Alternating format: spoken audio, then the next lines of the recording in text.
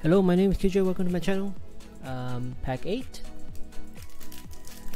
of my daily box break. Let's see what we get. So, as usual, we start with the 4 foil commons.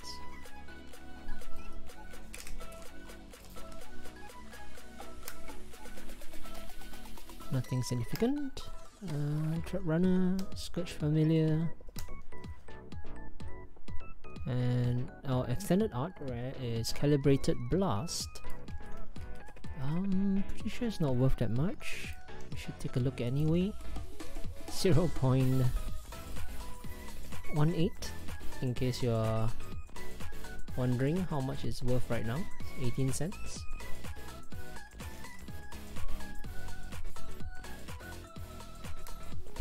No error this time. Oh, Mishra's Factory Borderless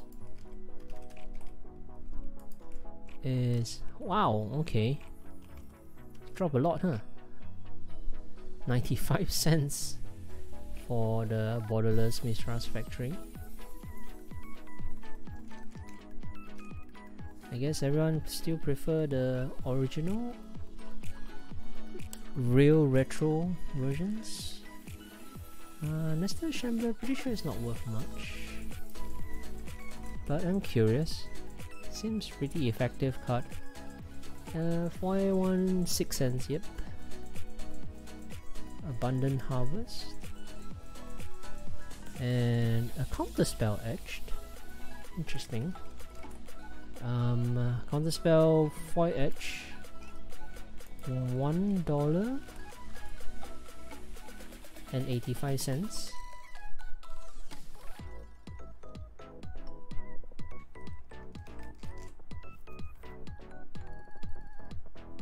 Riptide Laboratory. Uh, the wretch uh, for the edge slot is only a dollar. And uh, we already have a spoiler for the last slot, which I'm hoping would be a. Now that we know that it's a blue, I'm hoping that it will be a force. Oh yes, sweetness. Force of Negation foil. Retro foil. Yeah. Alright, it's not a fetch land, but I'm very happy about this.